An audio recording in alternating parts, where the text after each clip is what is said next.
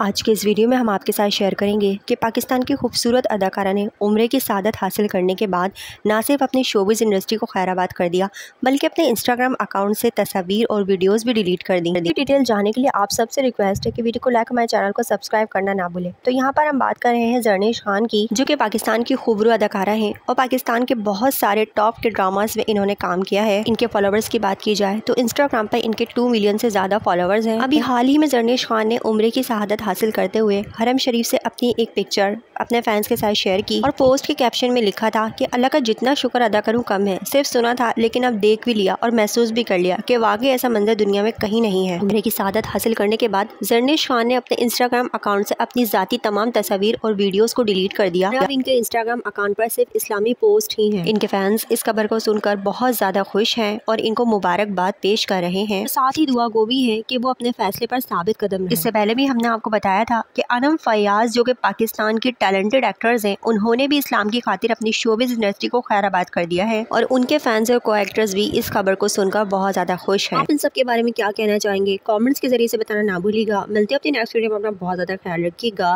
अल्लाह हाफिज़